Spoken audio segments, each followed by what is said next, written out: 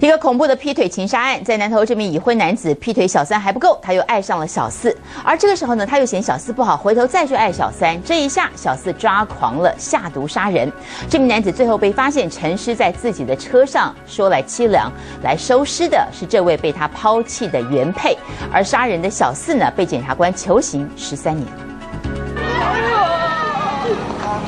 哎呀，这好黑啊！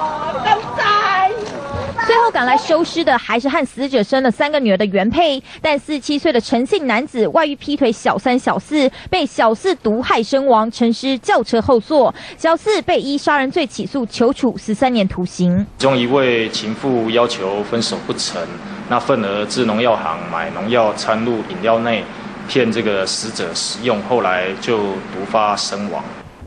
死者陈姓男子平时担任板模工，已婚身份的他和原配生下三名女儿，又结识了经营赌场的林姓女子，和小三去 KTV 唱歌，又认识了小四，展开追求，周旋于三女之间，被小三发现，逼着男子和小四分手，结果种下杀机。凶嫌啊，去农药行买了两种农药的剧毒，那掺入饮料空瓶内，骗死者食用。